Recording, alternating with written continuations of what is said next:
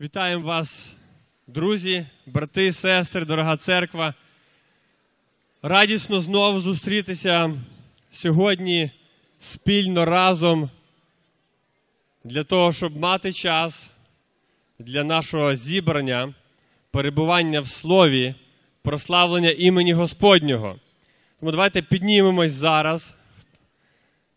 Попробуємо вже зібратися, зробити трошки, можливо, тишу більшу, чим, чим вона була до цього. Бо ще люди будуть підходити, ба- бачите, дощ, дощ робить затримки і корективи в життя.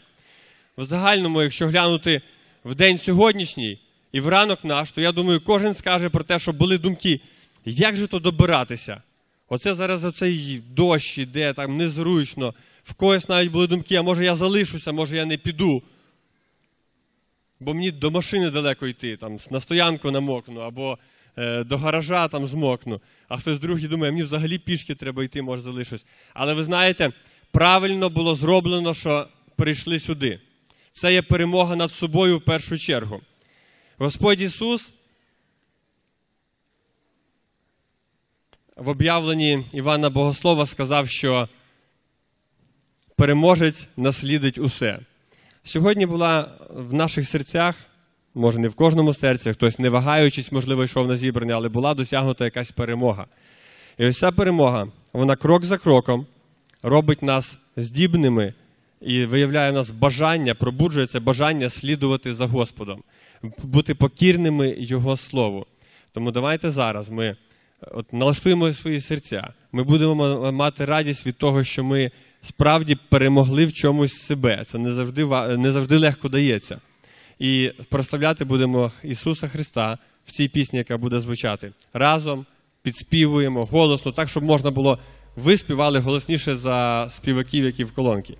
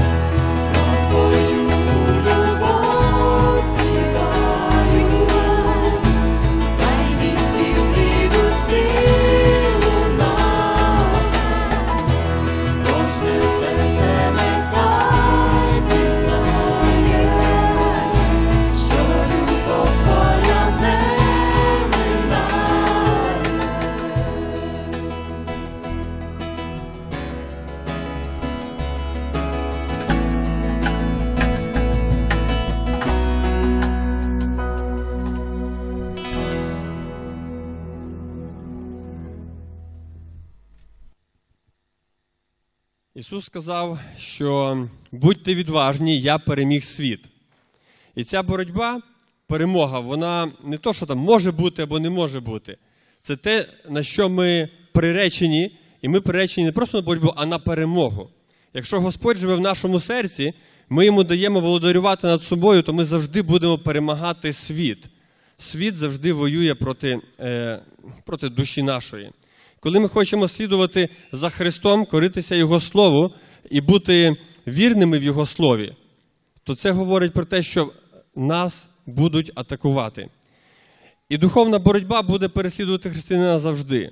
Написано, що диявол ходить, як крикаючий лев. Але слава Ісусу Христу за те, що ми можемо в ньому мати силу достатню для того, щоб завжди і завжди бути тим, хто е, має перемогу.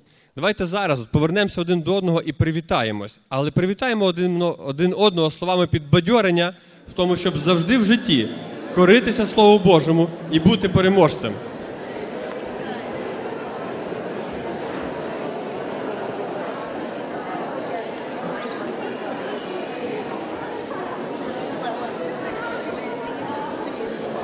Іра, зараз Анки їде до тебе і це попросить соло заспівати. Це неправильно. Ну, ви- ну, ти ж так знала. Активні, а- активніше поверніться, бо я бачу, не всі от повертаються один до одного. Не соромтесь, навіть якщо ви людину не дуже знаєте, або ви вранці віталися вже, ще раз можна підбадьорити словом з, Біблії.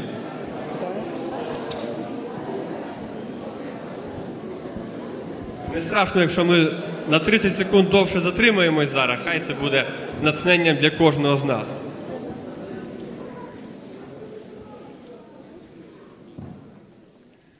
Отож, давайте ми далі в пісні будемо і в серці своєму, перш за все. От дуже важливо не просто співати як мелодію, як слова і як рифму. Важливо співати так, щоб продумувати і накладувати на себе от кожне те слово, яке ми говоримо, кожну ту фразу, яку ми вимовляємо в пісні. Хай це буде практикою життя нашого. Християнські гімни, вони завжди, як починали писатися, то як писалися як життя, а не як просто поезія. Тому давайте от ми будемо співати і проживати те, що співаємо.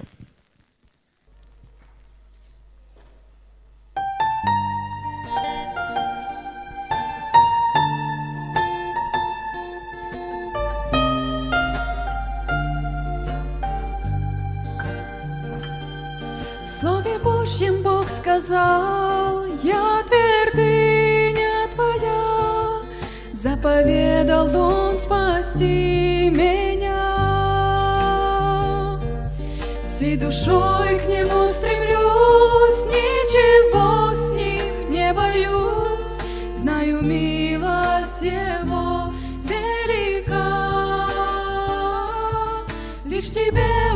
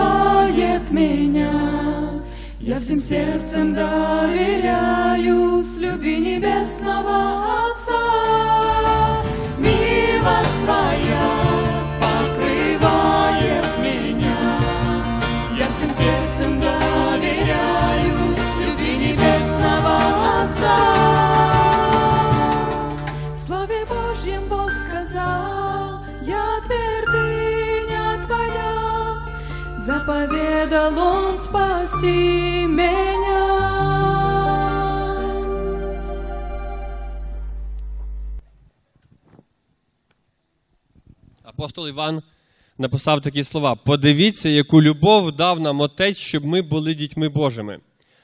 Стати дитиною Божою неможливо просто так. Це все було зроблено це все завдяки тому, що нам дарована любов нашого Отця. І вона виявилася в Ісусі Христі. Апостол, е, апостол Павло в посланні до Римлян пише, що нас ніщо не може відлучити від любові Христової.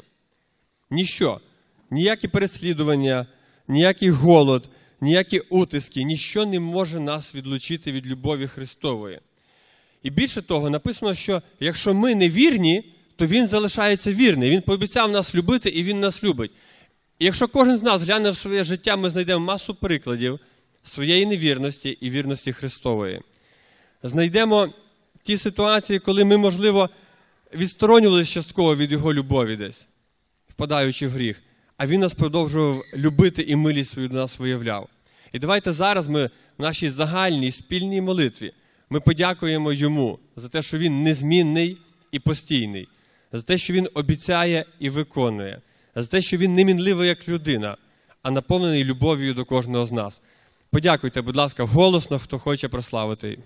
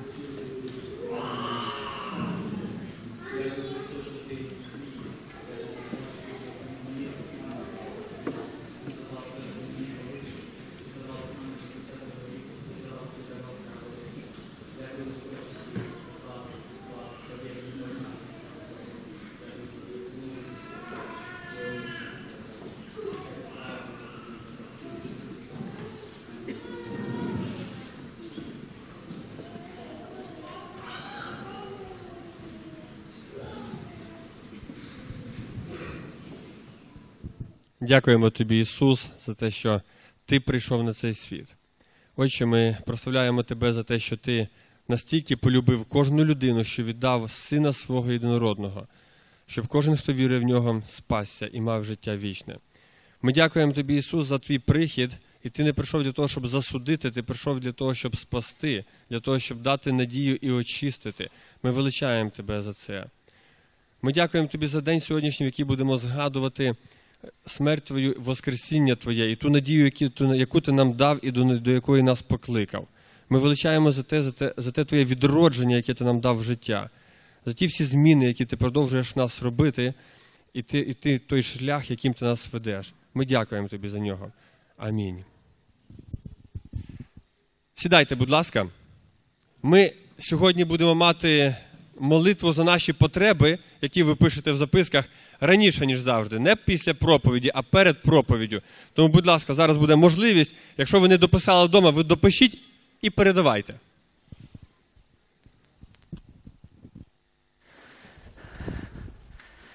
Вітаю усіх нас, Люба Церква, дорогі друзі, гості, хто сьогодні є. Ми всім дуже-дуже раді. Ми зараз будемо е, мати спільну молитву за благословіння над е, дитиною нашої однієї сім'ї в нашій церкві. Е, Я пригадую слова, і ви разом зі мною зараз їх дуже швидко пригадаєте. Написано є е, в Слові Божому наступний біблійний текст. Благословіння Господнє, воно що робить?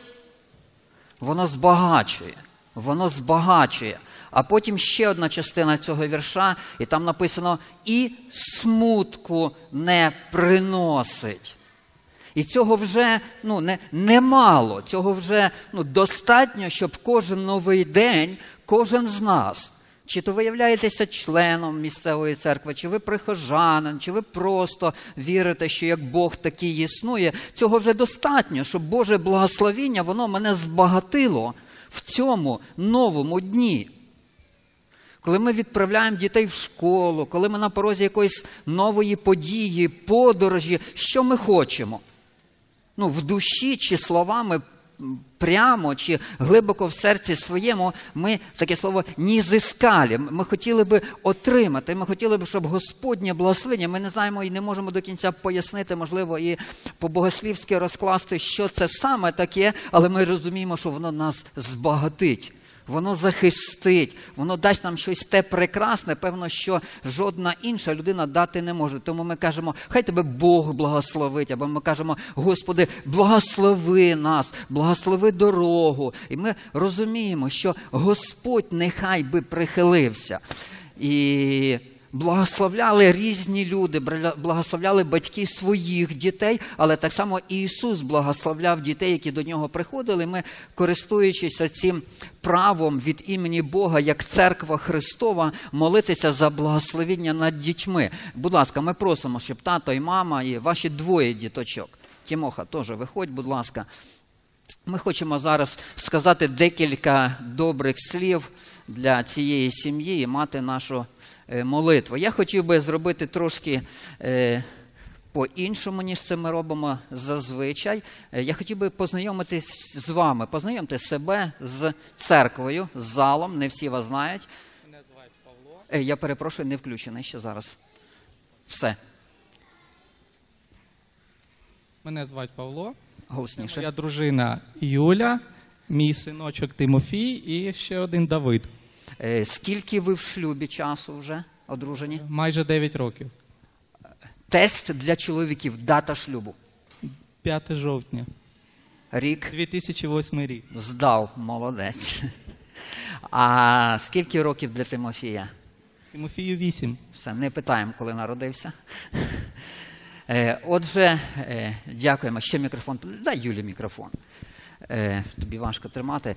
Е, Ще хочеться щонайменше дві речі вас е, запитати. Вісім років Тимофію, то ви здогадуєтесь, який в них батьківський стаж? Тепер запитання до залу. Який в них батьківський стаж? Скільки років вони як батьки? Вісім років. Отож, Юля, за оцих вісім років твого материнства, вашого батьківства, що ти вважаєш е, варте уваги, хоча, можливо, й давалося нелегко? От ви зростили вже вашого Тимофійка до восьмирічного віку. На що ти хотіла б і далі зосереджувати увагу або навчилася за ці роки? Ну, звичайно, це бути прикладом для своїх діток. бути прикладом для своїх діток. Е, я не знаю, чи дай Паші мікрофон або потримай. Е, Паша, я не знаю, чи ти готовий зараз сказати, що для тебе, як для тата, найважче в твоєму батьківстві. Немає. Все йде просто і виважено. І все йде. Добре, дякуємо. Все, ми мікрофон від вас беремо. Е, отож, я хотів би сказати декілька слів для. Паші і для Юлі, що вам не треба робити, і що хотілося б, щоб ви в своєму житті практикували. Е, Як би це дивно не було би, любі тати і мами, е, Павло і Юля, нам не треба. Послухайте уважно, нам не треба старатися бути досконалими. Я можу повторити це ще раз. Бог не просить нас бути досконалими. Бог просить від нас бути чесними перед Богом і перед своїми дітьми. Ви- розумієте різницю? Нам не треба нашим дітям подавати вершину досконалості.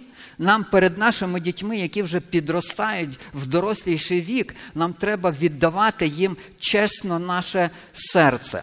Ну, дуже відомий текст, але це Бог залишив для батьків напряму. І це торкалося не лідерства в церкві, це не торкалося підприємницької діяльності, це не торкалося ще якихось інших сфер. Те, що ми зараз прочитаємо, це Бог сказав виключно для тата. І ви знаєте, я так подумав, ну для Павла це пряміше не буває. Знаєте чого? Ну, бо хтось приносить на молитву дитину, і це донечка. Е, Хтось приносить на молитву сина, але в нього ще одна донечка старша є. Ну, це все правильно, це прекрасно. Ну, я так трошки напівжартома. Ось в повторенні закону, в шостому розділі, в сьомому вірші, написано наступне: повторення закону 6-7. І пильно навчиш цього синів своїх. Ось цього маленького хлопчика звати Давидко. Я так сидів, і я, знаєте, я сказав, я хочу сьогодні по-особливому до нього віднестися. І навіть я знайшов ще одну, не першу, другу причину, чому я хотів до нього, знаєте, отак от прихильно віднестися і з великою повагою. Один чоловік мудрий сказав, коли ви зустрічаєте будь-яку людину, маленьку навіть, особливо діточок, е, проявіть особливу таку, знаєте, повагу. Ви старші, ви зрілі, ви, можливо, бабуся, ви багато в житті, що побачили, досягли за вашим життям ого-го, а він маленький, він школьник, він, знаєте, такий собі бешкетник може, знаєте. Але проявіть до нього повагу. Знаєте чому? Яка друга причина, скажімо, першу не буду називати. Тому що ми не знаємо, ким ця людина може стати. Старші брати біблійного Давида, пам'ятаєте, що робили? Та хто ти? Малий пастух, що ти тут серед нас робиш?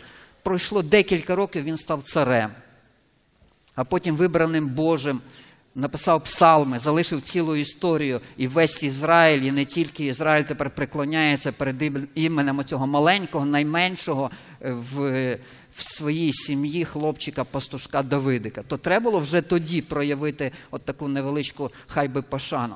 Павло і Юля. Отож, перше, ми вже знаємо, що робити не треба не треба проявляти досконалість, а потрібно бути чесними. Я вам назву декілька моментів. Ми живемо, в нас є побут звичайний, в нас є, можливо, е, розмови або намагання людей зачепити нас, небажані дзвінки, справи, коли йдуть успішно і коли щось валиться із рук. Ми проводимо час іноді вдома перед монітором е, телевізора чи комп'ютера, е, коли. Е, якісь конфлікти з людиною стається, коли хтось накричав на вас, і навпаки, іноді ми зриваємося на наших дітей. Знаєте, що треба? Треба переживати за одне. Я хочу бути чесним перед Богом, що сам Бог і Його слово для мене являється визначальним в моєму житті. І там, де треба стояти на слові, а там, де ми зробили якісь речі, які були, скажімо, прикрі або невдалі перед Божим лицем з нашої сторони, треба так це й признати. Діти дуже вражаючи, поважають батьківську поведінку, коли батьки чесні перед дітьми. Ну, скажімо, тільки що. Мама щось сказала на свого тата, і діти це почули. А тато вирішив, що мамі себе вести так не можна. І він вирішив маму підвинути, скажімо, на 15 сантиметрів, що називається, де її місце. І так підвинув, знаєте, що там аж тертя таке, щось жарко, що скоро ковер може загорітися, так підвинув. А ще пройшла хвилина, він пожалів, що він це зробив. І ви знаєте, непогано, якщо бути чесним в той момент чи після цього відразу і перед дружиною, і бути чесним перед своїми дітьми. Це непогано, це набагато краще. Так ми завойовуємо серце наших дітей. Бог каже: ти навчиш дітей своїх, як ти любиш Бога. Покажи їм, як ти любиш Бога в смиренні і визнанні свого життя перед Ним. І другі, Юля і Паша, е, не ну, не звинувачуйте себе, не відчувайте того, що ви не робите щось так аж занадто добре, як можливо, ви знаєте, хтось інший може це зробити. Просто будьте чесними. І ще одне Покажіть вашим дітям, це вже що треба робити. Покажіть вашим дітям на практиці, як ви зростаєте в пізнанні вашого Бога і як він стає для вас все більшою і більшою цінністю. Ви знаєте, я думаю, ви читаєте дуже багато книжок, особливо тати і мами, хто виховує дітей. То їм три роки ми думаємо, чи, чи, чи якщо рік, як вони треба, щоб вони спали і не просиналися всю ніч, то, їх, то як їх треба харчувати, чи по годинах, чи по потребі. Потім вони йдуть в школу. Ми хочемо знати, в скільки років їх навчити читати, писати, які, на які гуртки віддати. Пот- Потім підлітковий період, і ми не знаємо, як навчити їх поважати своїх батьків і скільки з ними часу все проводити. Я розумію, що є дуже багато хороших е, матеріалів, хороших матеріалів. Але знаєте, в чому найкращий матеріал заключається? Що, як казала Юля, полюби Бога всім своїм серцем, всією душею і віддай зразок цієї любові до Бога своїм дітям невимушено, коли встаєш, коли сідаєш і коли лежиш. Тобто на протязі всього свого життя відкривай своїм дітям, як ти хочеш більше пізнавати Паша свого Господа, як ти, Юля, робиш Бога все більше своєю цінністю. Ми зараз разом помолимось. Давайте ми піднімемось і попросимо, щоб помолилася мама, щоб помолився тато, і тоді ми теж помолимося. Бог, я Анна, почекай. Господь, я щиро тобі дякую за сім'ю, яку ти мені подарував, Господь. Я дякую за діти, Господи. Я радію, що ти їх також нам дав. Господь, і прошу тебе, Господи, благословення на них. І по-особливому прошу за нашого маленького синочка. Ти поблагослови, Господи, його. Ти, Господи, збережи, Господи, від всякого недоброго, від всякого злого, Господь, щоб, Господи, в майбутньому, коли він виросте, він знайшов тебе, Господь, щоб він був твоїм дитям. Господь, а мені, як мамі, Господи, дай мудрості, Господь виховувати його в науці Твоїй, Господь, щоб він мені завжди бачив Тебе. Амінь. Амінь. Я потримаю, Паша. Мій Господь і мій Бог, я дуже вдячний тобі за те, що ти знайшов мене в цьому світі. Господь, ти пішов на Голгофу за мої гріхи, за мої провини ти страждав. Я дякую за ту милість і величезну любов до мене. Господь, я дякую тобі за сім'ю, яку ти мені дав, за чудову дружину, за чудових хлопчиків моїх. Я прошу благословення на їхнє життя. Особливо сьогодні прошу за Давида, щоб ти дав йому мудре серце, щоб він в житті зробив правильний вибір, вибрав тебе, Господь, твій шлях. Я все віддаю в руки твої і дякую тобі за все, мій Господи. Амінь.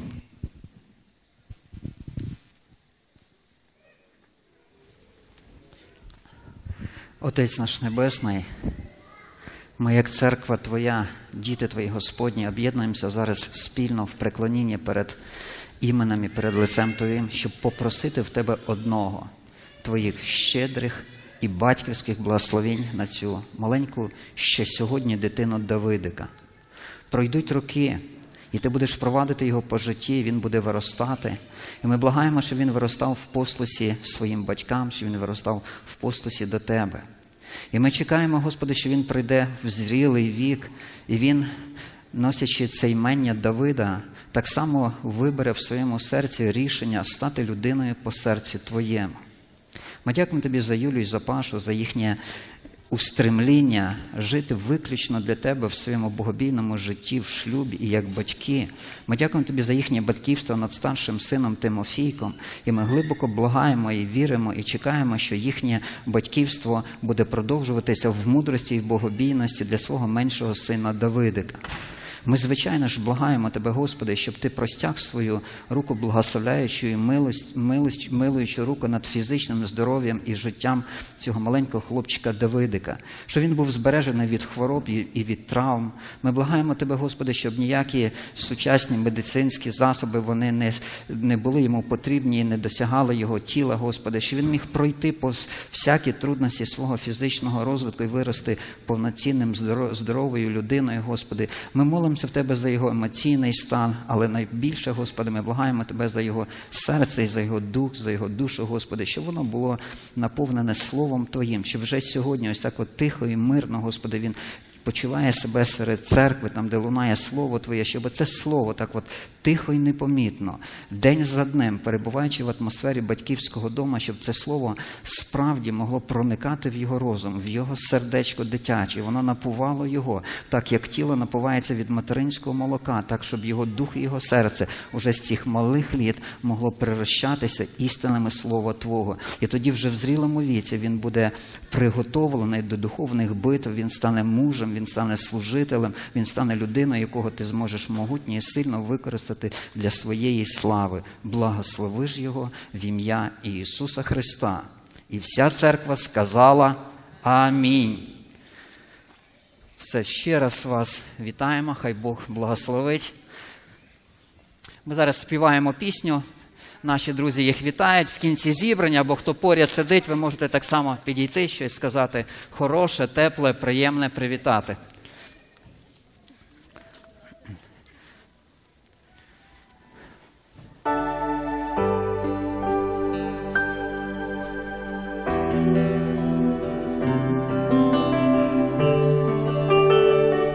Ісус, ти сходиш світанком серці моїм, Твоя милість мене трима. Знаю кожного ранку, чуєш ти голос мій, Ісусе, рівних тобі нема. Ти приходиш, світає в душі, ти знаходиш. Найкраще в мені, ти світанок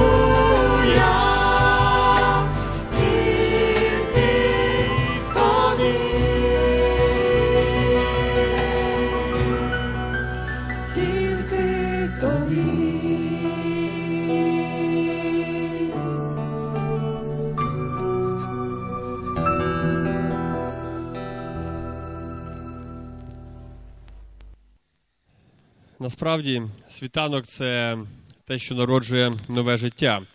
Новий день починається зі світанку. Весну також можна порівняти зі світанком, тому що природа просипається. Люди просинаються на світанку. І слова, що Ісус, ти сходиш світанком, вони насправді є не просто бажанням, це є істиною в життя будь-якої людини. Коли Ісус з'являється в житті людини, це є світанок. Він пробуджує повністю наше серце і нашу душу. Ми змінюємося самі зсередини і ззовні. Тому хай Господь благословляє нас, щоб ми були відкриті для Господа і для Його дії в нашому житті. Щоб цей світанок він продовжувався в нашому житті постійно, не був якимось разовим тимчасовим, а він був постійним світанком в нашому серці, перш за все. Зараз ми будемо мати молитву за потреби. Ви вже не сідайте, ми зараз будемо молитися. Написали ви багато потреб, багато прохань, багато записок переданих і ще більше невисловлених і не, і не написаних. Ми за всі їх помолимось. І ви знаєте, от перед тим як молитися, хочеться буквально два місця згадати з Євангелія від Марка. Одна історія, коли сидить Вартимей, який не бачить нічого, почув, що йде Ісус поряд і каже, почав кричати каже: Ісусе, змилуйся надо мною. Люди його цикають, тихо будь кажуть, мовчи, не відволікай учителя. А Ісус підходить і каже, що ти хочеш? Він каже, хай я прозрю. І прозрів. Інший випадок, тоді, коли четверо друзів принесли свого хворого розслабленого, він побачив їхню віру і каже: прощаються тобі гріхи, вставай і ходи. Тут не написано, чи вірив ось той, хто лежав, але написано, побачивши віру тих, хто несли. В ситуації з Вартимеєм вірив сам Вартимей. Господь сильний відповідати на молитви і таким чином, і таким. В цих записках і в серцях наших є прохання, які звертаються до Господа за нас самих особисто, і нам потрібна віра в те, що Господь сильний це зробити. З іншої сторони, багато прохань за покаяння, за звільнення від залежностей, за вирішення ситуації в здоров'ї і матеріальному житті, як вже не своїх, а інших людей, які нам близькі. І тут, якщо в них немає віри, нам потрібна віра. Господь сильний подіяти в них і відкрити їм очі на те, що Він це зробив. Давайте зараз, от ми щиро в серцях будемо молитися за те, щоб Господь працював, працював в нас і в тих, хто біля нас.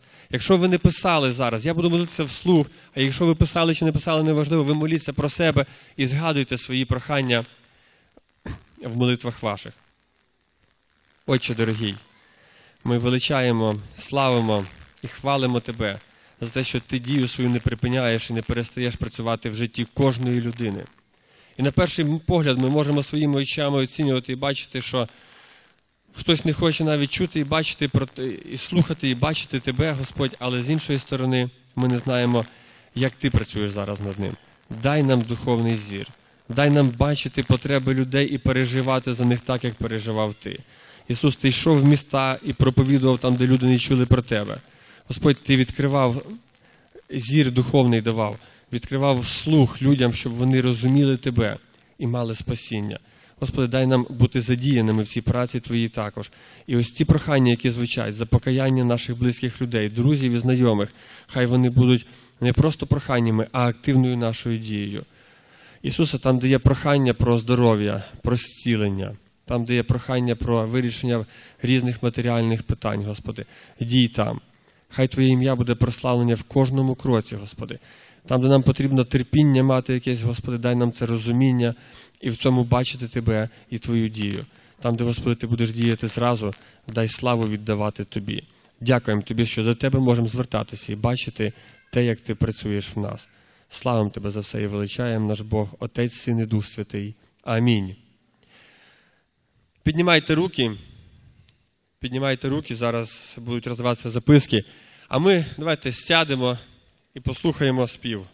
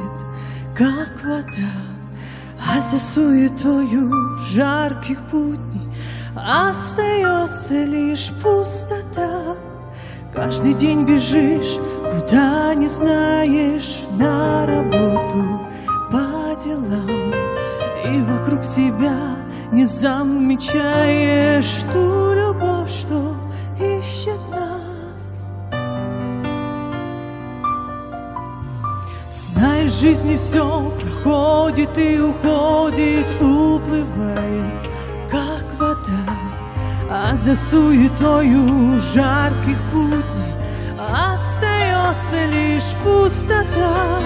Сколько раз ты задавал вопросы Находил ли ты ответ? Для чего пришел на эту землю И для чего ты ешь свой в чем смысл твоей жизни? Пустота, пустота. Если нету в ней Христа, в чем смысл твоей жизни?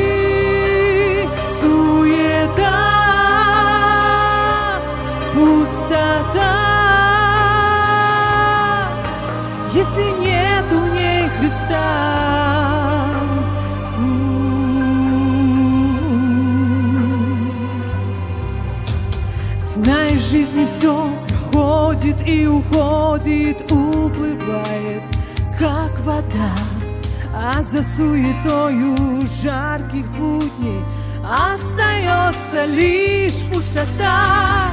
Сколько раз ты задавал вопросы, находил ли ты ответ? Для чего пришел на эту землю и для чего ты ешь свой хлеб? В чем смысл твоей жизни?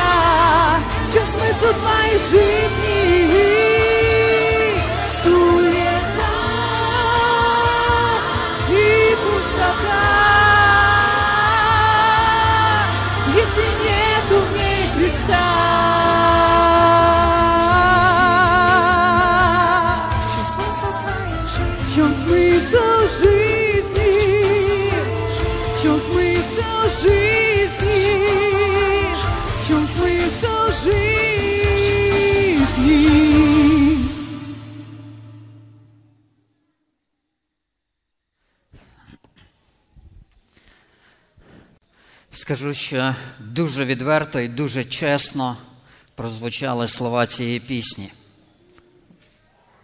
Пустота, якщо немає в ній Христа. І певно, що ми не чесні, якщо не маємо Христа. І не можемо сміливо сказати, що ми його потребуємо. Ми тоді не чесні перед собою.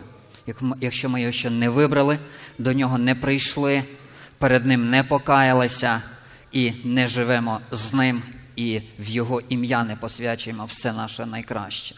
Тоді ми або нечесні, або ми відчуваємо це прагнення заповнити наше життя чимось, що буде справжнім і таким, знаєте, більше не повторяємим. Більше не треба буде шукати замінника ще до чогось. Ми сьогодні з вами е, поглянемо на один біблійний текст. Ви можете його вже почати шукати в ваших Євангеліях. Євангелія від Івана. Е, Скажу, що жодне інше з трьох Євангелій цю історію більше не згадує. Лише євангелист Іван описує ось цю історію. Греки або єлени. Ми будемо говорити про них. Вони е, прийшли на свято Пасхи в Єрусалим. Греки, причому, про яких ми зараз будемо читати, 12 розділ Євангелія від Івана, вони із ключових, е, скажімо, таких дійових осіб в цій історії, вони прийшли в Єрусалим напередодні свята Пасхи. Але ще в цей день відбувався такий урочистий в'їзд Христа в Єрусалим, і ви здогадуєтесь, що, що в'їзд в Єрусалим супроводжувало. Е, великі восклицання, урочистість, е, постилання е, одежі, верхнього одягу, пальмове віття, благословен тих, що грядеш в ім'я Господнє і таке інше. Ну і ось серед певно, що цього натовпу були і ці греки.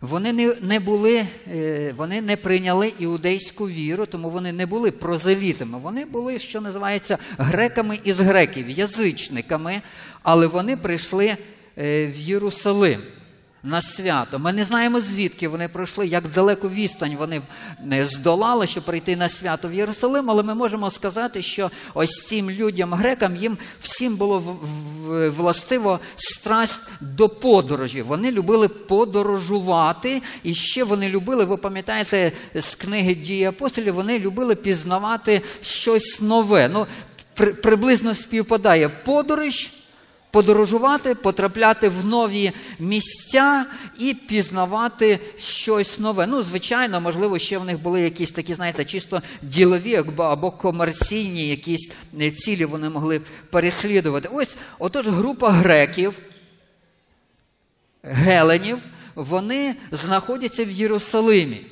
В Єрусалим в цей час в'їхав Ісус Христос, знаходиться багато е, людей, але вони були не просто любопитними спостерігачами. Ось вони дивляться, що відбувається, вони стоять в стороні, вони розуміють, що там щось таке, що вони ще раніше не зустрічали. В них був, ну давайте таким словом назвемо петлівий ум. Коли діти багато задають запитання, почому? Колись Білі Грейм проводив євангелізацію в 90-му році, там ключове, така, е, ключове слово, яке було на цих брошурах, почому небо голубое, почому это, а чому в машини чотири колеса, а чому трава зелена, а молоко біле, яке корова дає їсть. І, і цих багато чому. Ну, я не знаю, е, наскільки петлівими були греки так сильно, як наші маленькі діти. Але їм цього було не займати. Історія пам'ятає греків, ну знаєте, якими? Вони підходили до одного філософа, вони слухали, що він розповідає. Їм було дуже, вони були дуже зацікавлені. І потім вони, коли вислухали побачили, що тут можна взяти все, вони спішили ще до наступного іншого філософа, і вони знову хотіли слухати наступне е, нове. Вони пізнавали одну релігію, і вони, коли вичерпували ці пізнання, вони хотіли дізнаватися ще наступне, а що є те, що немає в тій релігії, в цій наступній релігії. релігії. І коли вони чули, що з'являвся якийсь хороший вчитель, вони спішили до цього вчителя, вони його запрошували. Пам'ятаєте, Аравпах, апостол Павло, Афіни, е, я знаю, що ви любите, і вони любили щось нове. І вони хотіли слухати вчителів. І вони так само від одного вчителя до другого підходили. І ось ми з вами в 20-му вірші. А між, між тими, що в свято прийшли поклонитися, були й деякі гелени. Вони підійшли до Пилипа, що з Вівсаїди Галілейської, і просили його та й казали: Ми хочемо, пане, побачити Ісуса. Іде Пилип та Андрієві каже, іде Андрій і Пилип та Ісусові розповідають. З якоїсь причини Ісус Христос визиває в ці, в цієї групи людей, греків, геленів, не євреїв і не прозелітів, е, визиває в них, ну, давайте називаємо таку справжню непідробну зацікавленість. Вони, певно, що якусь субординацію розуміли, мали зберегти чи ще якимсь чином, я не знаю, але підходять до Филипа. Ну, хтось каже е, до Филипа, тому що його ім'я теж було грецьке. Я не досліджував, я просто це е, дізнався в одному з коментарів. І тому вони підійшли саме до, до, до Филипа і сказали: Филип, в нас є одна просьба до тебе. Якби ти нас познайомив з Ісусом Христом. Ну і ви знаєте, так стається, що Пилип не йде прямо до Ісуса Христа, щоб сказати, там люди хочуть з тобою поспілкуватися. Він йде чомусь до Андрія. Андрій разом з Пилипом теж підходять до Ісуса Христа. Я собі не уявляю до кінця. Гелени стоять в стороні, можливо, за метр два. А тут натовп людей, чи вони стоять ще десь на подвір'ї з іншої сторони. Ну, але так чи інакше, не греки підійшли до Ісуса Христа. Не вони почали в нього щось запитувати, а е, попросити зустрітися з цими людьми, е, цю просьбу висказує Филип і Андрій. І тепер наступає кульмінація. Що стається далі? Так бувало не один раз. Коли хтось звертався до Ісуса Христа, і Ісусу Христу потрібно було давати відповідь, ця відповідь або була парадоксальною, або вона була шокуючою, або вона була, ну, знаєте, якоюсь неврозумітельною. То хто хоче бути більшим, хай буде меншим, то дайте мені монету, то хто, хто без гріха перший кінь камінь. Ну, завжди відповідь Ісуса Христа, ну, що називається, була в глибину. Як ми часом в народі кажемо, ні в глаз, ні в бровь, а в глаз відразу. Ну, і вони хотіли побачити. Тепер послухайте уважно, що відбувається далі. Перші греки, яких ми зустрічаємо, вони хочуть і прагнуть побачити Ісуса Христа. Як би мав Ісус Христос на це відреагувати, і що ми дізнаємося? Е, 23 вірш. Ісус же їм відповідає, говорячи. Ситуація, люди здалека, язичники хочуть бачити. Надійшла година, щоб син людський прославився. Я вам скажу, я коли читав перші рази, ну, більш-менш зрозуміло, щоб син людський прославився. Не зовсім зрозуміло, навіщо грекам про це дізнаватися і як це впливає на їхнє бажання познайомитися з Христом. Ну, але наступний вірш я ніяк не міг пов'язати на початках. Після слів надійшла година, щоб син людський прославився, звучать слова, про які певно, що ви чули, хоча б один раз. По правді, по правді кажу вам, коли зерно пшеничне, як у землю впаде, не помре, то одне зостанеться, а як умре, плід рясний принесе. Що стається далі, коли Ісус Христос дізнається, що є зацікавлені люди, які прийшли і виявили інтерес стосовно Його Ісуса Христа. І Він про це дізнається, що Він в цей час в серці своєму говорить і пізніше це проголошує для інших людей.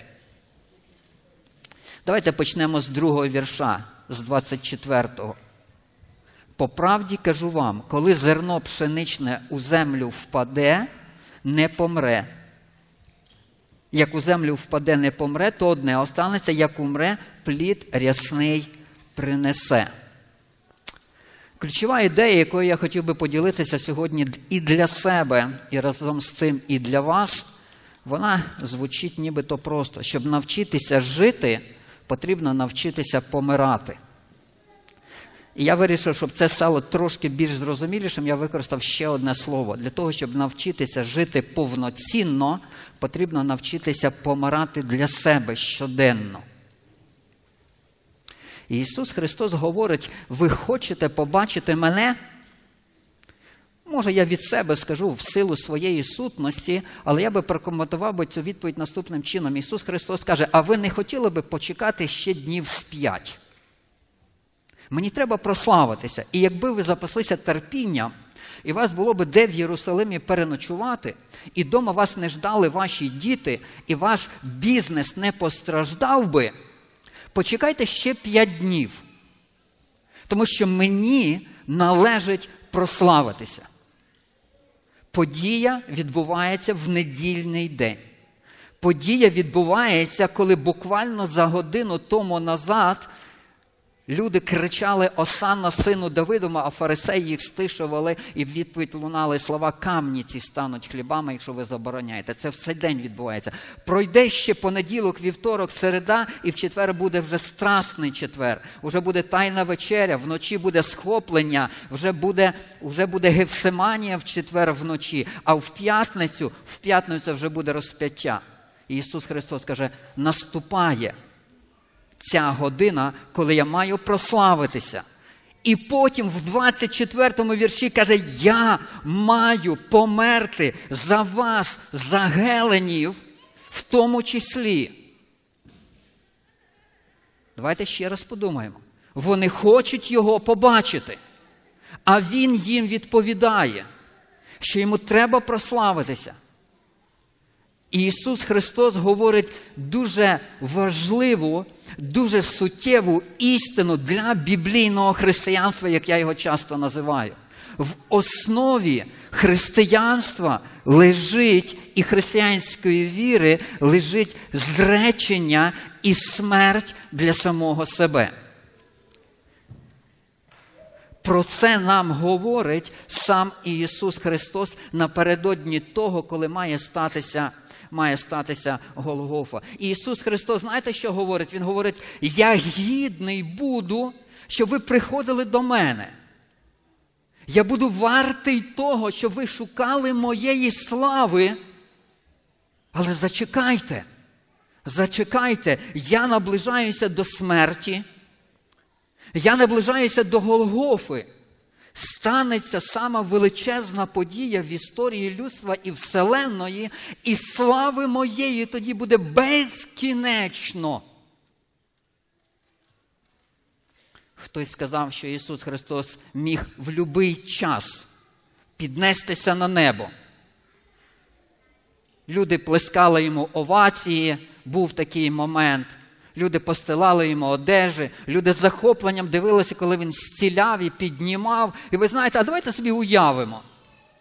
От раз Ісус Христос піднявся на небо. Я вам скажу: жодної спасенної душі, жодної, жодного спасенного грішника і ніякого плоду, пробачте, від життя Ісуса Христа. Ісая, Ісая 53 розділ, 10 вірш. Ісая 53 розділ, 10 вірш. Я його прочитаю не з перших слів, я одну фразу пропускаю і читаю наступну фразу. Ісая 53 місіанський псалом, 10 вірш. А якщо душу свою покладе він як жертву за гріх, то побачить насіння. Коли побачить насіння? Як жертву як душу свою покладе за жертву за гріх. Ісус Христос е, проголошує ну, дуже сильний і дуже безпосередній конкретний урок для нашої християнської віри, для нашого християнського життя. Якщо зерно залишається в безпечному, комфортному місці, воно ніколи не принесе ні користі, ні плоду. Мені треба прославитися. Але пшеничне зерно, якщо не впаде і не помре, воно не принесе плоду. Якщо, якщо сказати про Ісуса Христа і про Його смерть, то я скажу, це не якби, якби Христос не вчинив себе жертвою за нас, якби Він не помер, як пшеничне зерно на Голгофі за нас, гнів Божий був би на нас до сьогодні, звинувачення закону переслідувало би нас по п'ятам, вирок за те, що ми згрішили і звинуватили перед небом, вісів би як домокловий меч над нашими плечима або над нашою шиєю. Наші гріхи і наші провини, вони би великим не рюкзаком, вони би величезним тягарем з багатьма, знаєте, такими складовими, як цепь, день за днем прибавлялося б над нашим життям, і ми його влачили би, якби Ісус Христос не помер. Він сказав: якщо помре, то принесе, принесе плід. На що ми опираємося в нашій вірі? Він помер. Він помер. І Бог в духовному світі юридично має, має право зробити для нас багато, примирити нас з собою, дає нам право сміливо стати в молитві перед святим святих в Його присутності, дарує нам вічність. Ми з вами ви тільки подумайте, ми в свободі живемо від суєти цього світу. Суєта нам нічого не должна. І ми не повинні суєтитися в цьому світі. Знаєте чому? Тому що я знаю, ради чого я живу. Христос суєтився, йому багато треба було туди встигнути, там не співав. О, вибачте, ще один дзвінок. Я сьогодні вже вибачався перед одними людьми, що я не виконав свої зобов'язання на сьогоднішній день. Ісус Христос, Він подібно жив так? Ні. І Він каже: якщо ви приймаєте мою смерть як подвиг за ваші гріхи за ваше відкуплення, то ви отримаєте ще й свободу і від рабства гріха, і від суєтного життя, і від страху перед смертю, і від вічного суду. І знаєте, чому це сталося? Пшеничне зерно. Одне є. І можна, знаєте, що зробити з цим пшеничним зерном? Взяти як музейний експонат, положити в себе на столі.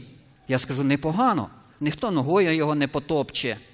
Холодний дощ і вітер його не буде заливати, сорняки біля нього не почнуть проростати. Ось воно є гарне, красиве. Залишається лише одне єдине но. Жодного, жодного, жодного плоду і ніякої користі. Життя зерна, послухайте уважно, життя ось цього зерняти пшениці, знаєте, в чому сховане? В смерті. В землю закопали гарнесенько, і воно через час при певних культурних умовах, фізичних, воно що? Воно починає давати плід. А тепер давайте поговоримо про ті уроки, на які варто звернути нам уваги. Про один ми вже з вами ну, достатньо немало проговорили. Ніхто не може жити, якщо не захоче помирати. Можна трошки покликати вас в екскурсію в минуле у ваше ж життя. Його, його, його, ваше життя я не знаю. Я можу накладати своє життя і в ньому шукати відбитки, що, можливо, і у вас якісь такі елементи ваших життів є. Отож, готові, да? повертаємося в наше минуле життя на два дні, на тиждень назад. І коли ви сьогодні сидите, що вам хотілося забрати з вашого життя? Що вас більше не задовольняє сьогодні?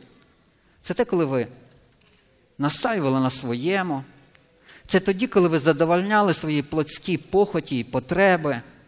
Це тоді, ви, коли ви добивалися своїх прав любою ціною. Вам не хочеться, ви не називаєте це життям. Ми доросліші, ми пізнаємо Господа, ми набуваємо якоїсь більшої зрілості. І знаєте, коли ми оцінюємо це з позиції минулого, знаєте, що ми починаємо говорити? Що жити це помирати. Ви розумієте, про що хотів навчити нас Ісус Христос? Що те справжнє, що ми згадуємо, Оте, чим ми задоволені, чим ми, ну знаєте, ну давайте таке слово використаємо, гордимося за себе, ну в, роз, в розумному розумінні цього слова, коли ми гордимося, коли ми для дитини час віддали, коли ми пішли до друга, коли ми гроші пожертвували. Знаєте, а тоді, коли ми протаранили когось своїми словами, тоді, коли ми час, ну, даруйте, розбазарили направо-наліво і нікому з цього не, не пользи, нічого не було. В кожної з вас є людина, яку вам певно, що зараз теж легко буде ім'я її назвати десь в, серці своїй. Це людина, яка зробила великий великий вплив на ваше життя. Бодай в кожної з вас є така одна бодай людина. Яким чином Бог перетнув дорогу вашу з дорогою цієї людини, і вона. Саме ось ця людина, великий чи менший, але вплив зробила, і певно, що ви її зараз можете навіть пригадати. Так от я хочу запитати: а не будете ви добрі, щоб сказати сам, самому собі, а чим саме ця людина зробила ось таке для вас щось значиме? Це були гроші, які вона вам віддала або пожертвувала. Це був час, це було плече, яке вона вам підставила. Це були години або дні, коли вона біля вас сиділа і приходила для вас в лікарню. Все це можна підвести величку, невеличку рисочку і написати пожертвувала собою. Помирала в ці часи, години, в цих стосунках помирала для себе, для свого. Могла би поїхати, могла би вдома посидіти на диванчику, телевізор, могла би собі щось купити, поміняти щось собі, якісь в своєму биту речі. А вона для вас це зробила. І ми згадуємо. Ісус Христос дає нам перший дуже важливий урок, щоб жити насправді, не існувати, а жити, то треба навчитися помирати для себе. Е, наступний, наступний урок Ісус Христос е, говорить хто хоче в цьому житті отримувати задоволення і прожити його для самого ж себе це життя. 25 вірш, давайте прочитаємо. Хто кохає душу свою, той погубить її. Хтось хто ненавидить душу свою, на цім світі збереже її у вічне життя. Ну, я згадав раніше, ніж ось про цей урок сказати, я поділюся, що я згадав одну фразу: хто хоче все і сразу, получить нічого і по чуть-чуть. Так ось я думаю, що ось та сама людина, яка е, в своєму житті живе кредом. Життя це моє, життя воно моє. Да? І я його буду жити один раз. І тому, будь ласка, не підказуйте мені. І не вказуйте мені, як мені треба жити. Навіть і близько з цим питанням до мене не підходьте. Це моє життя. Воно моє, воно моє. Я живу в демократичній країні, в демократичній країні. Мене за це в тюрму не посадять. Ну, навірно, не посадять. Ну, може, хіба що багато людей роблять, але в нас державні закони. І ну, і виходить, я живу. Я живу, я хочу. Я хочу, я люблю себе. Я люблю, щоб саме було ось так. І ось так, що було, і ось так, що було. І хтось сказав, як взнати людину, яка кохає себе.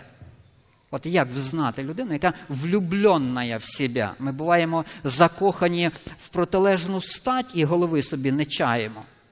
А ми буваємо закохані в себе. Оця закоханість в себе і в своє життя, ну, вона дорівнює. Вона дорівнює такому, знаєте, прагматичному, себелюбівому, егоїстичному устремленню забезпечити себе і своє життя. І Христос каже, якщо людина таким чином буде будувати своє життя, навіть будучи віруючою, християнином будучи, вона не получає наснаги. Вона не може сказати, що це те християнство, в яке я буду кликати всіх інших людей. Немає дерзновіння благовістити, немає сміливості стояти перед Господом. Знаєте чого? Тому що втрачати треба в цьому житті. Треба втрачати свої амбіції, треба відмовлятися від якихось власних, можливо, е, вподобань, які Бог не благословляє. Ну, я вже не буду назвати вам імена, бо це буде втомливо. Е, проста статистика. Даруйте. Єдине, що я можу, е, скажімо, зробити таку знижку або скидку, що вона вже роками ця статистика пройшла. Але це справжня статистика. Дев'ять найуспішніших людей у світі. Дев'ять найуспішніших людей у світі. Я важко оперую цифрами і матеріальними статками людей, які найуспішніші. Я знаю, що мільйонами вимірюються катера, на яких вони їздять, а е, все майно, яке оцінюється, є там, мабуть, заоблачні цифри. Так ось 9 найбагатших людей у світі. Послухайте уважно. Е, Три, троє із них покінчили життя самогубством, ще троє банкротами, двоє в тюрмі і один з глузду, ну, психіатричній лікарні. Ну, так, так співпало. Так співпало, що я читаю цей текст, я його досліджую, і моя пам'ять говорить мені, що я знаю про ці факти, які лежать е, в мене на, скажімо там, в папці в моїх там матеріалах. І я просто вирішив, що ця статистика, вона якраз паралельно лягає на істину, про яку сказав Христос. Хто хоче це життя надбати, то той повинен переживати не за власні досягнення, а повинен що думати, як віддати своє життя ради, ради Євангелія.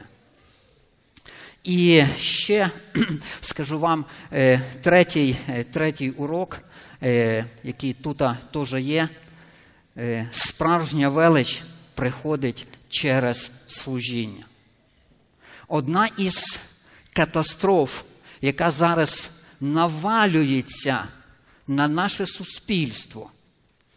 І я розумію, що тільки ми, як церква, через погляд на Христа і на Його хресний шлях, Голгофу і смерть можемо це зупинити і стати, як знаєте, як наші люди там в АТО стоять на, на цих позиціях і далі не можуть зайти сюди до нас на центральну і західну Україну. Так само ми можемо стати в проломі перед цією одною із величезних небезпек, які сунуться на наше суспільство. Більший ніколи не хоче служити меншому.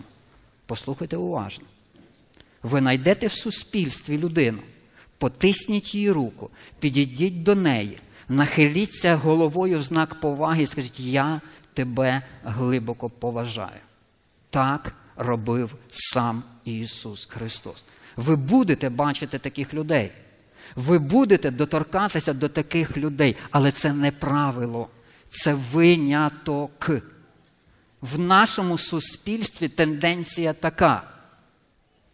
Я пастор церкви, за мною ви закриваєте двері в автомобілі, а не я за вами, образно кажучи. Якщо я начальник на фірмі, то я ніколи своєму секретарю не поставлю чашечку кофе, тому що це її обов'язок. Чого доброго я принижу себе, що я послужу тій людині, яка менша від мене. Неправду я кажу? Христос сказав, пшеничне зерно для того, щоб принести плід, воно має впасти в землю. І ось там, де холодно, там, де сиро, там, де темно, там, де дощі, там, де можуть тернії проростати, там, де людина чи ще якась може пройти тварина, худоба, таке інше, і там воно впало, і там воно лежить. І звідти починають проростати що насіння. Якщо душу свою віддаси, ми читали з вами в Ісаї, покладе він як жертву за гріх, то побачить насіння. І ще один, і ще один урок.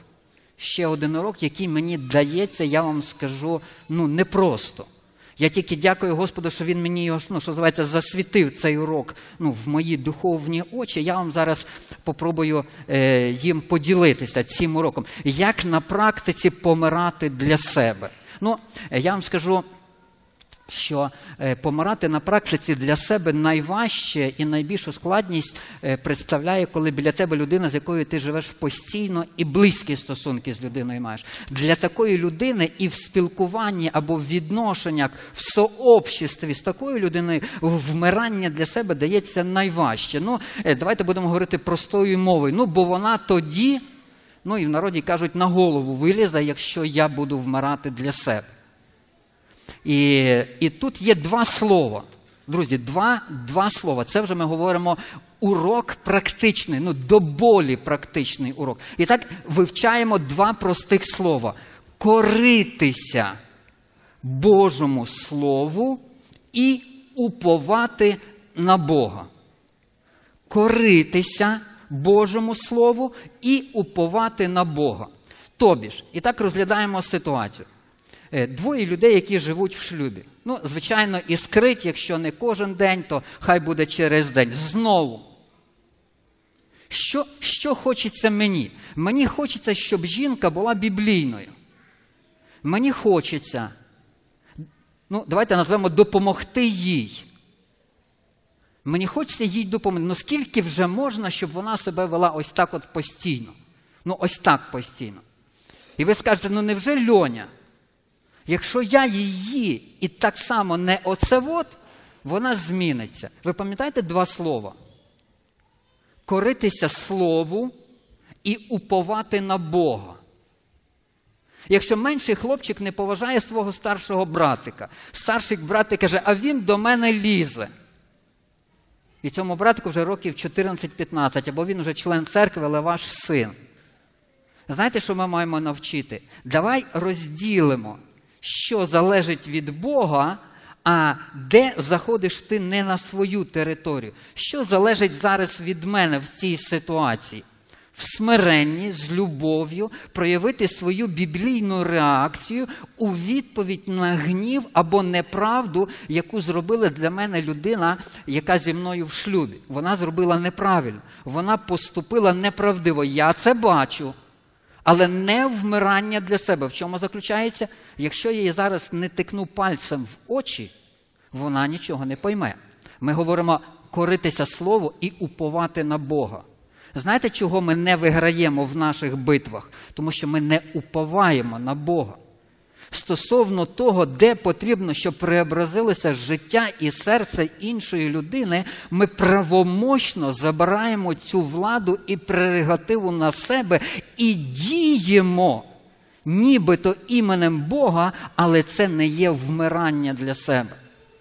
Ісус Христос, Ісус Христос дуже гарно і, проілюстрував ось цей приклад. Він знав, що його чекає попереду. Ісус Христос говорив е, для нас, що е, Він вибирає Голгофу і хрест, який принесе йому безкінечну славу. І хочу ще вас покликати до самого останнього і так само не менш безпосереднього. Послухайте уважно: постійне, глибоке усамітнення з Богом. Постійне, глибоке усамітнення з Богом здатне убити, вбити мене так, як ніщо інше, самого себе самолюбівого.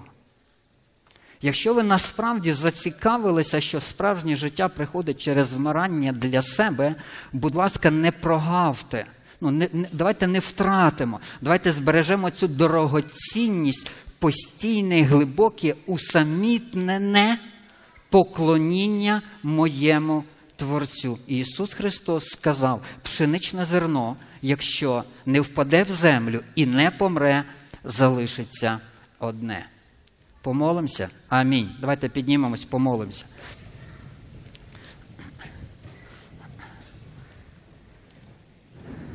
Отець наш Небесний, ми сьогодні е, схиляємося перед тобою і в цей час, щоб подякувати Тобі за ті відкриття, які ти посилаєш в нашу душу, в наше серце через Слово Твоє.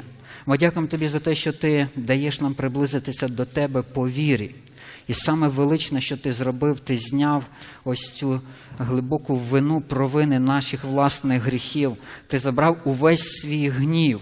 Ти виправдав і викупив нас від наших провин і подарував нам вічність. І ми розуміємо, що причиною цього є лише виключно одне віра в жертву Ісуса Христа, в Його смерть, яка відкупила і стала ходатайством за нас перед тобою. І сьогодні, Господи, ми дякуємо за те, що Ти вчиш, Ти вчиш нас жити, Ти вчиш нас досягати більшого в нашій вірі. Ти кличеш нас до наступного, Ти кличеш нас до практичного. І ми дякуємо Тобі, Господи, за те, що Ти відкриваєш і невтомно, ось так от довготерпеливо, послідовно трудишся над нашими серцями і душами. Ми дякуємо за те, що Ти нас надихаєш. Ми дякуємо Дякуємо тобі за те, що в тебе є лише одна зацікавленість приблизити нас до себе, дати нам відчутість, відчути цю радість слідування за тобою в тому, щоб жити за словами твоїми. Благослови наше життя, благослови ті обставини, благослови ті наші стосунки, благослови рішення наших сердець, які виправдані тобою, і додай нам сміливості саме так жити і поступати. І звичайно ж, Господи, ми в цьому всьому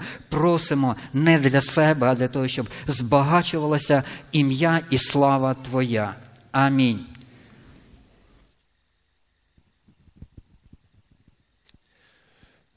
Ви не сідайте, у нас буде підготовка до причастя.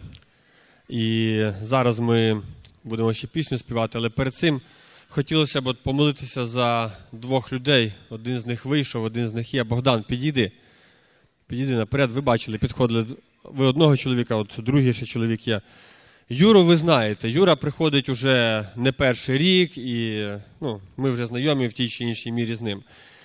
Богдан перший раз прийшов і теж просить ну, помолитися за нього, він хоче на центр. Не знаємо, Богдан, рішення до кінця твого, але ми помолимось. Скажи, що ти хотів би в житті змінити? Скажи от, буквально двома реченнями. Прийнять Ісусу Христа. Ну, ми за це, Богдан, за тебе помолимось. Давайте зараз от я помолюсь, ви підтримаєте в молитві за те, щоб Богдан от, твердо став на цей шлях і він пішов. Я, я згадую, от, просто як до Ісуса прийшло 10 прокажених, Він їх зцілив, 9 ушло, один повернувся. Ми не знаємо, що спіткало тих 9, але ми читаємо в Біблії, що якщо людина пізнає Божу ласку і потім за неї не тримається, то це гірше для неї, ніж було до того. Тому давайте молитися про Божу милість над життям Юриним і Богдана. Господь дорогий, ми благаємо милості і благодаті Твоєї для Богдана і Юри. Господь, ти бачиш серця і бачиш намагання, потуги, хотіння чи небажання, ми серця не знаємо, Господь. Але от слова хочу прийняти Ісуса Христа. Господь, ти їм не противишся, і ти завжди до цього відкритий. Хай і серце Богдана буде настільки відкрите, щоб прийняти тебе.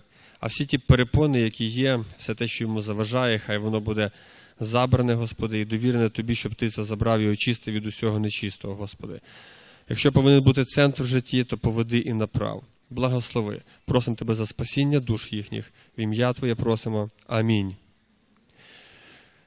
Ігор, хочеться попросити, щоб ти після зібрання, от поговоривши з Богданом, добре? От, і з Юрою. А ми співаємо пісню і готуємось до причастя.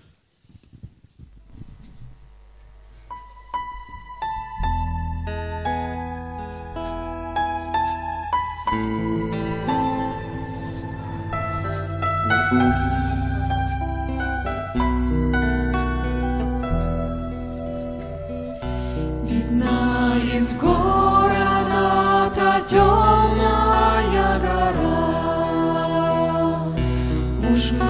gönlüm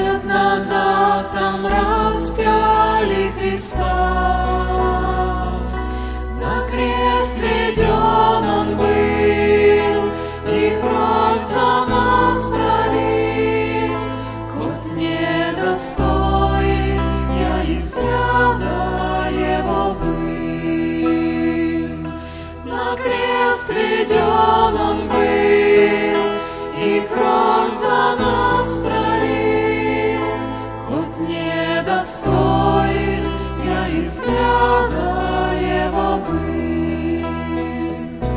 О, сколько жизни смерть Иисуса принесла, грехи простила, радость и любовь дала. И для тебя, мой друг, и для тебя, мой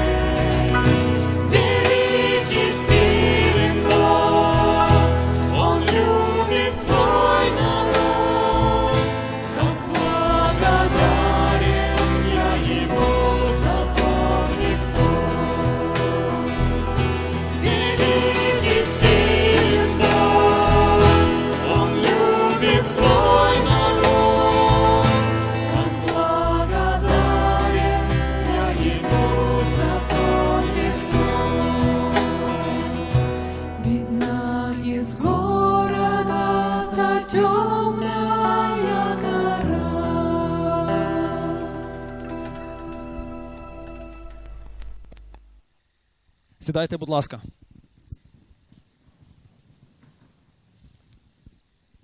Е, Перед тим, як будемо приймати причастя, е, прошу відкрити вас свої Біблії. Е, Відкрийте, будь ласка, Євангелію від Івана, 17 розділ, 19 вірш.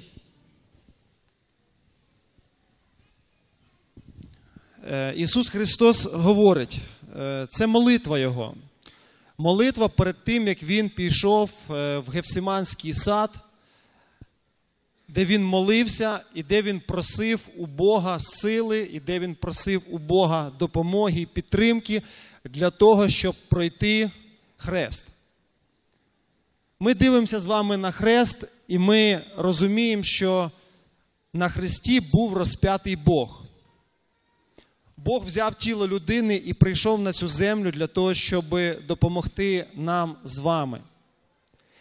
І він, будучи людиною, він, будучи Богом і 100% людиною, він терпів всю ту біль, яку може причинити хрест, яку може причинити е, розп'яте тіло, пробити цвяхами, проколотий бік, перед тим його бичували. Ну, вся біль, яку, е, я думаю, може переживати людина фізично, він її всю перетерпів. Йому було боляче.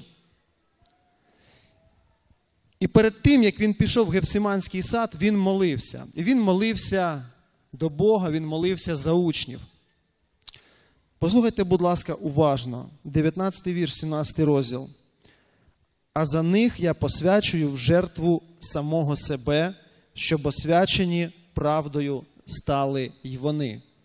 Він каже: а за них я посвячую в жертву себе, щоб освячені правдою стали й вони. Він каже: Я за них посвячую в жертву себе. Для чого взагалі він себе посвячує в жертву? Ми бачимо тут Євангелію, ми бачимо тут е, те, що за нас з вами потрібна була принесена жертва. Давайте ми вернемося на декілька тисяч років назад і згадаємо Едемський сад, коли Бог створив людей. і Вони були ідеальні. Бог все для них зробив. Він їх створив е, досконалими і Він дав їм право вибору. І що трапилось тоді? Вони не послухалися Бога і вони згрішили. І часто ми можемо думати, ну просто з'їли якийсь плід. Ні, відкрито кажучи, вони відкрито збунтували проти Бога.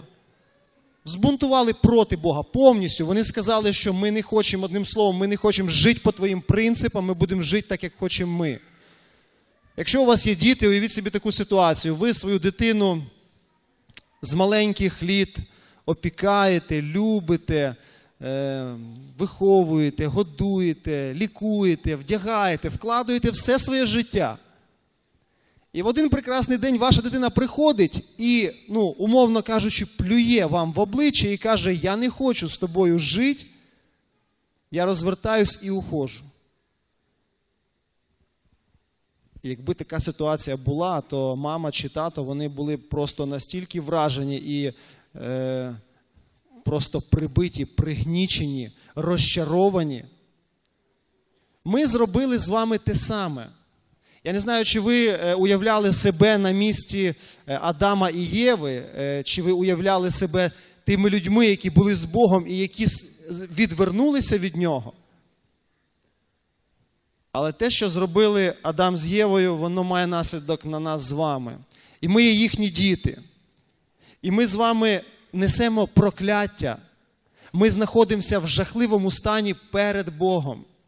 Все людство знаходиться в жахливому стані перед Богом. Просто не завжди про це говорять і не хочуть про це думати, і не хочуть це вирішувати. Все людство на планеті Земля знаходиться в бунті перед Богом. Всі люди грішники повністю. І людина, яка в своєму житті не прийняла саме важливе рішення, вона не прийняла оцю жертву, про яку Ісус каже, я за них посвячую в жертву самого себе. Ця людина, вона після смерті йде в пекло. І ця людина вона буде мучитись. Вічність. І звідти виходу немає. Я не знаю, як часто ви про це думаєте і чи думаєте ви взагалі про це. Але це є факт. Ми з вами знаходимося в стані конфлікту з Богом. І цей конфлікт, ми люди, ми часто намагаємося вирішити якимись такими цивілізованими методами примирення. Е, Ми намагаємося вдосконалити себе шляхом здобування освіти. Ми хочемо змінити е, навколишнє середовище, наші будинки, наші міста. Ми хочемо зробити їх кращими. Ми хочемо досягнути якісь успіхів е, там, в освіті, в науці, медицині. Ми намагаємося і це ми робимо. Люди це роблять. Це непогано, це добре. Але добре тоді, коли вирішений конфлікт. І у нас існує конфлікт з Богом. Я не знаю, е, чи всі в цьому залі вони примирені з Богом. Я не знаю, думаю, є люди, які не примирились з Богом. Є люди, які примирились з Богом і вони вирішили цей конфлікт. Я скажу за себе, я примирився з Богом, але я пам'ятаю своє життя без Бога. І я жив в конфлікті з Богом. Не завжди я думав про це. Але цей конфлікт з Богом він відображався на все моє життя, на стосунки з людьми, на стосунки в суспільстві. Я мав внутрішній конфлікт, в мене не було миру. Я йшов проти Бога, я намагався зробити якісь добрі справи, комусь допомогти, комусь пожертвувати, дати гроші, е, зробити добре діло. І я думав, що це допоможе, але це не допомагає. Єдиний шлях у нас є це прийняти жертву. Ісус каже, я за них посвячую в жертву самого себе. І вихід з цього конфлікту це Ісус Христос. Це Він. Тільки Він вихід. Але це не той вихід, знаєте, коли ми думаємо, я вірю в Ісуса Христа, я Його знаю, але я не живу так, як говорить Слово. Дійсно, буває таке, що в нас не завжди виходить жити, як говорить Слово. І в нас є приклади. Але для того, щоб ми могли жити, як говорить Слово, дивіться, що Ісус каже. Він каже, я за них посвячую в жертву самого себе. Для чого? Щоб освячені правдою стали вони. Дивіться, це ціль. Для чого Бог помер на Христі? Це саме важливо. Немає нічого важливішого в світі, ніж те, що зробив Він. І нам завжди це дуже важко приймати, тому що ми думаємо, що є речі в нашому житті, які важливіші. Але це саме важливе. І він каже, для того, щоб освячені правдою стали вони. Дивіться, щоб вони не, не щоб вони стали здорові, всі повністю люди на землі, щоб не хворіли. Не щоб вони стали багаті, не щоб вони стали дуже досвідчені, хороші управлінці, бізнесмени. Не для цього, не в цьому ціль. Я не кажу, що це погано. Це добре.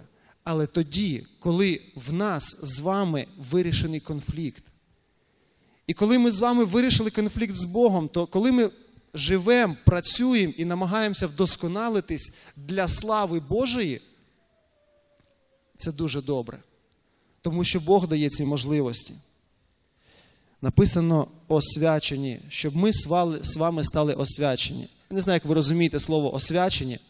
Але освячені це значить не такі, як ми були раніше. Ми якісь були раніше, а тепер ми маємо бути не такі. І таке запитання от у мене до вас, до себе, чи ми вже не такі, як були раніше? Чи ми з вами змінилися? Бо освячення це певна зміна, це переміна, і це кардинальна переміна. І ви знаєте що?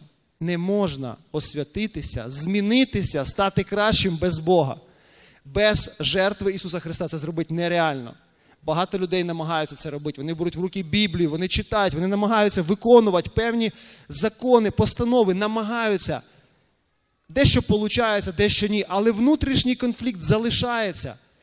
І вони все одно не можуть змінитися. Освячення це дуже важливо. Тому що від цього освячення краще стає нам.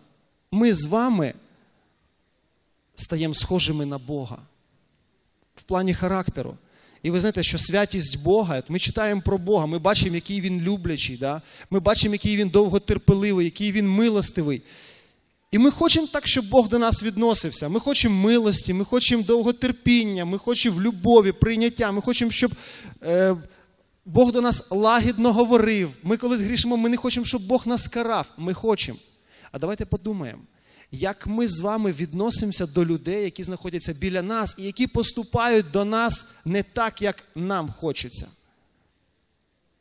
Яка наша реакція? Ми проявляємо любов Бога.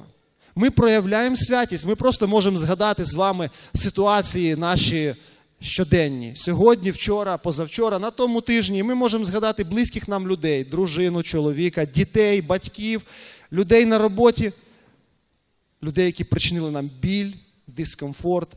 Яке наше відношення до них? Освячення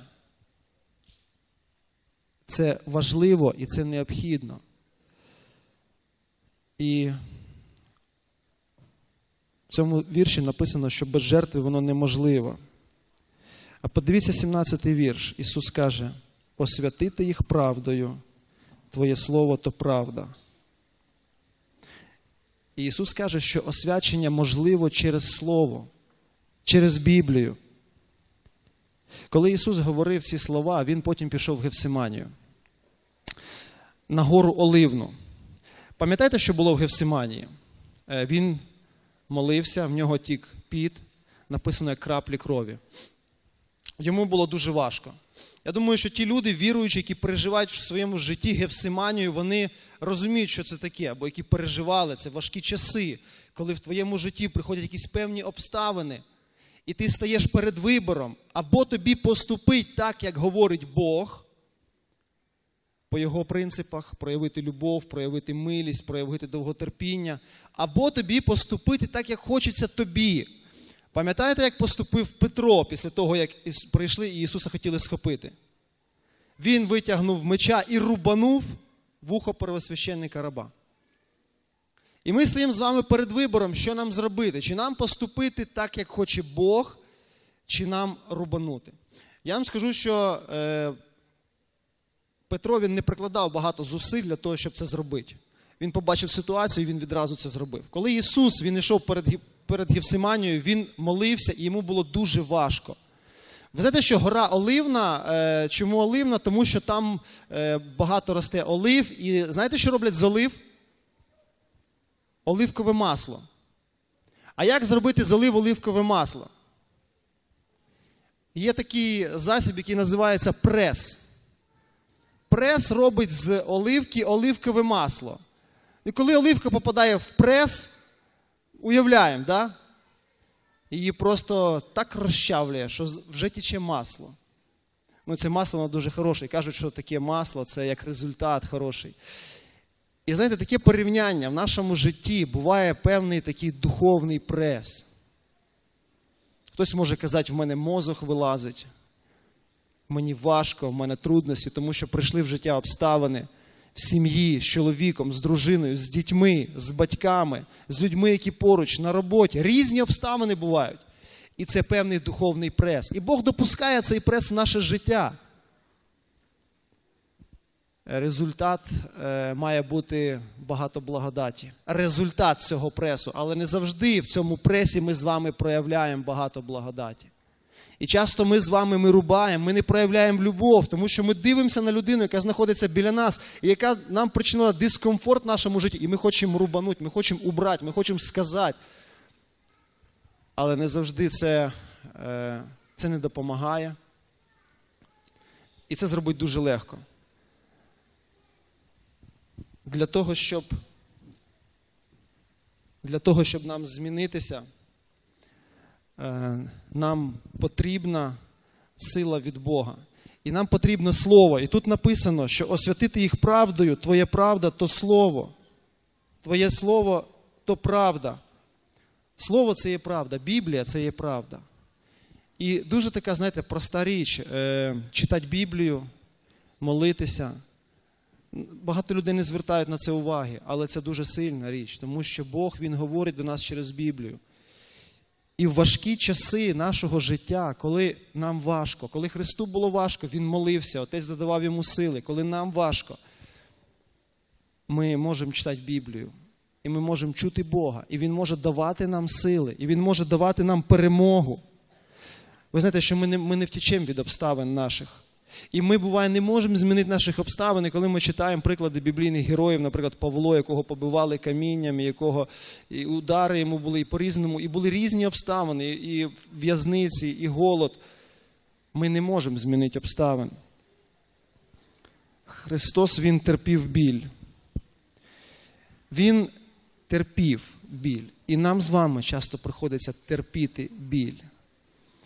І ми стоїмо перед вибором або нам терпіти біль, або нам не терпіти, або нам рубати.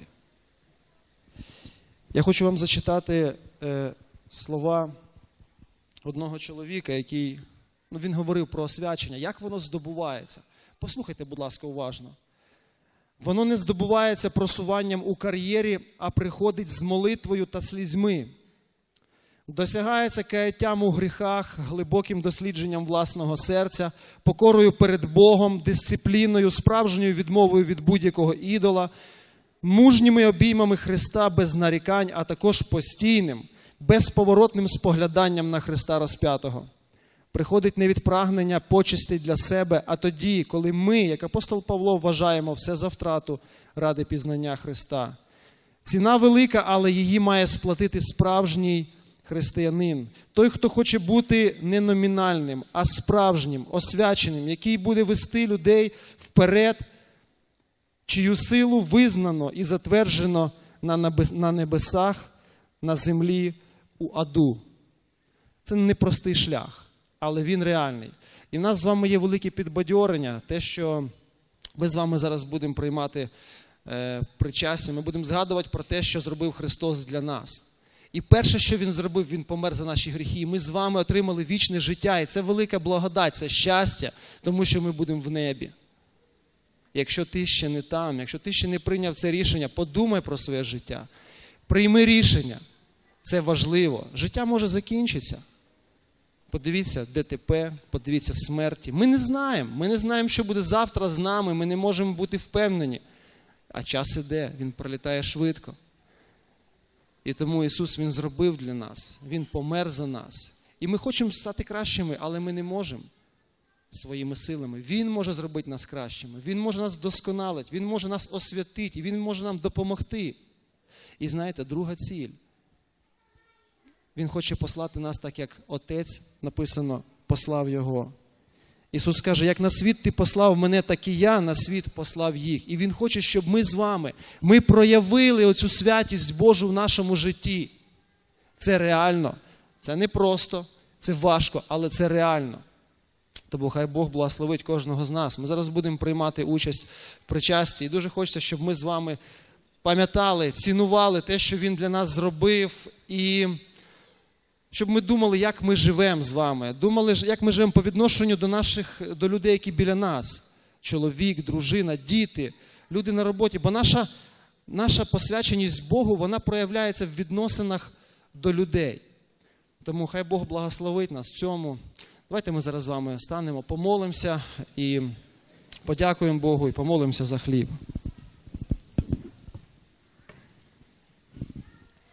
Господи хочу подякувати Тобі за те, що ти прийшов на цю землю, і ти, Господи, віддав своє життя, ти постраждав, ти протерпів всю біль, Господи.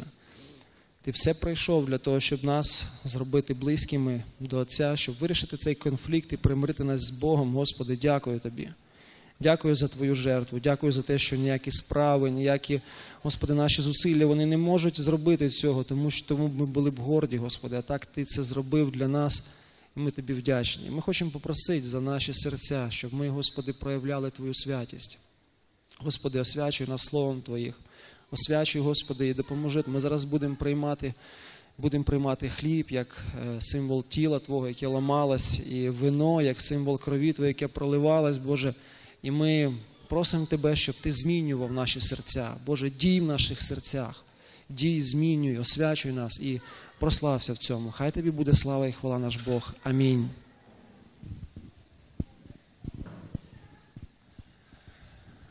Сідайте, будь ласка.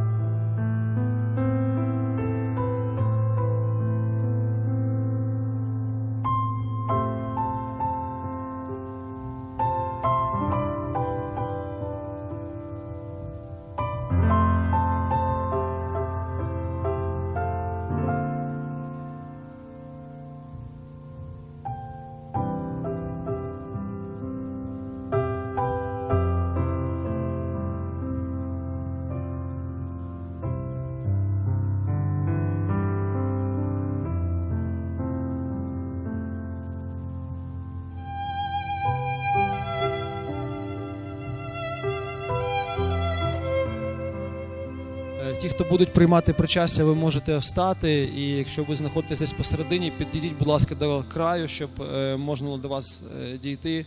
І хочу нагадати, хто має право приймати причастя, це е, ті люди, які в своєму житті вони покаялись перед Богом. Вони визнали себе грішниками і вони залишили своє старе життя. Вони прийняли жертву Христа. І зараз вони живуть, живуть з Господом, живуть в мирі з Богом. І е, якщо ви такі, ви прийняли також е, завіт, ви підтвердили це е, завітом через святе повірі водне хрещення, то ви маєте приймати причастя і приймайте. хай Бог благословить вас в цьому.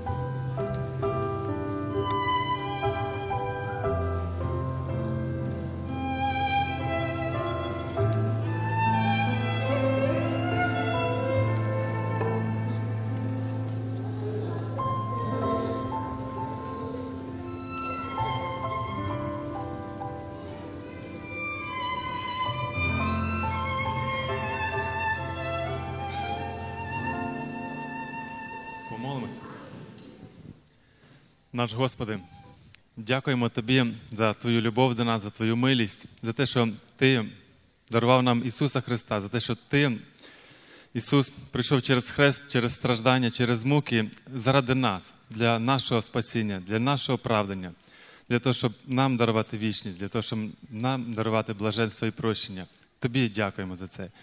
І, Господи, дякуємо за те, що ми є учасниками Тебе, Твого єства, і дякуємо за це вино, за кров, яку ми можемо приймати і жити разом з тобою. Благослови, прошу, послухом Тобі, щоб, Господи, ми дійсно жили для Тебе. Дякуємо Тобі. Амінь.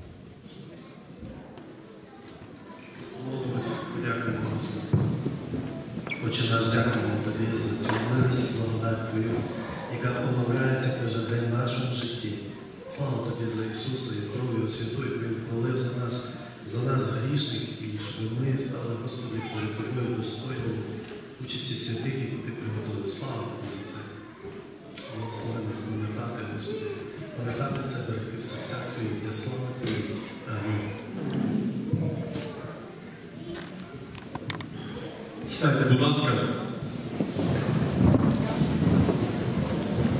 Церква зараз буде мати збір до години жартування.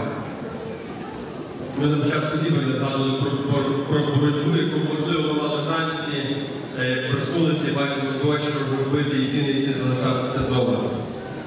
Наші відкриті серця і жартування, які ми робимо в своєму житті, будь-яка жертва. Також е, боротьба для кожної людини. Хай нам Господь перемогу, щоб нам могли тіло наше приносити жертву для Господа розумну і живу. Ви знаєте, що відвага потрібна в тих випадках, коли людина ну, сама от не може рухатися, щось велике перед нею є, і їй потрібно відважитися на якийсь крок. Тому е, в нас в церкві, от ви знаєте, теж ми говорили про те, що потрібне приміщення для е, наших служінь проведення, для недільної школи, для місця зустрічей, для молоді. І так от Господь дав нам відвагу думати про, те, про це нове приміщення. Ми дякуємо йому за те, що він дав нам в серця цю відвагу. І так само, якщо ми долучаємось до цієї навіть справи, то ми те- отримуємо те благословіння, яке Господь приготував для всієї церкви. Ми, як тіло Христове, служимо для нього.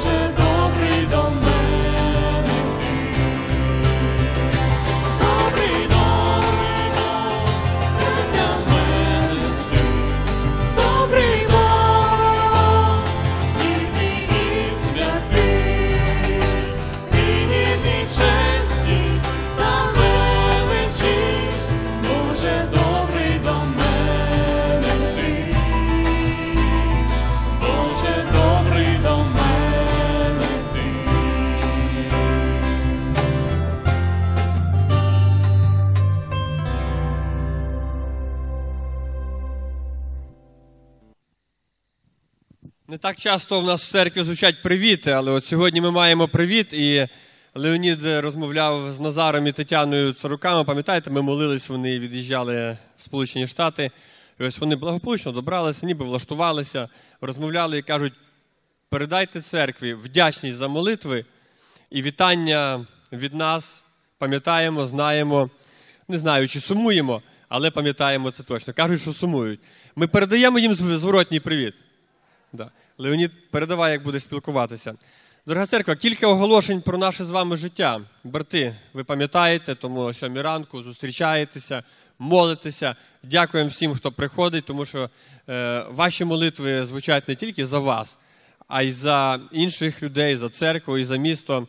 Тому хай Господь благословляє всіх бути відкритими, отримувати збудування для себе і бути благословінням для інших. Сьома година ранку, Словацького 1 в офісі церкви. Е, Сестри, я от знаю, судячи по назві, у вас є якісь міфи. Ну, вони нам невідомі, може вони і вам до кінця невідомі, але е, є обіцянка, що ви про них дізнаєтеся. Тому якщо ви думаєте, що у вас міфів немає, то цей міф буде розбитий ось на цьому виїзді. Приїжджайте туди, взнавайте щось більше, щось нове. Головне, спілкуйтеся, ставайте ближчими одна до одної. 12-14 жовтня. Це буде в четвер.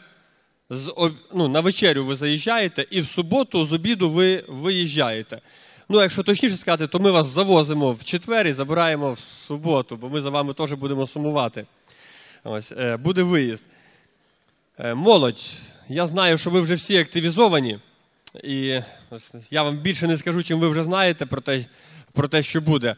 Але наступна, ось ця, що буде зараз, це субота-неділя, якщо я так розумію, да? 9-10 число, субота-неділя, у вас буде е, конференція. У вас буде конференція. І от ви знаєте, ну от на ринку, як стоїш, виходиш на ринок, от в однієї людини черга, в другої черги немає.